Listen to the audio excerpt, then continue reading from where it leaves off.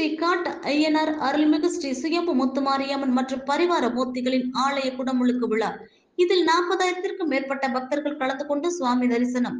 புதுக்கோட்டை மாவட்டம் அறந்தாங்கி அருகே உள்ள மணமேல்குடி தாலுகா வடக்கு மணமேல்குடியில் அருள்பாலித்துக் கொண்டிருக்கும் அருள்மிகு ஸ்ரீ காட்ட ஐயனார் அருள்மிகு ஸ்ரீ சுயம்பு முத்துமாரியம்மன் மற்றும் பரிவார மூர்த்திகளின் ஆலய அஷ்டபந்தன மகா கும்பாபிஷேக விழா. மிகவும் விமர்சையாக நடைபெற்றது.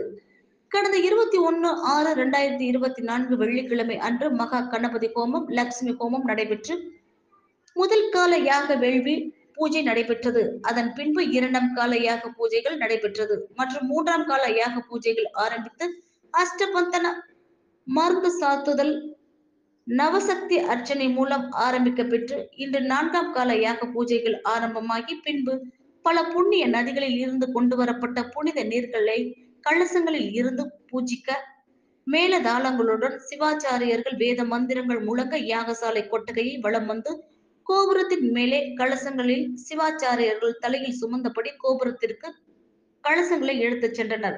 அதன் பின்பு கோபுரத்தின் மேலே கருட பகவான் வட்டமடித்த நிலையில் அதன் பின்பு கோபுரங்களுக்கு கலச நீர் ஊற்றப்பட்டது. இந்த நீரை ட்ரோன் மூலம் பக்தர்களுக்கு புனித நீர் தெளிக்கப்பட்டது.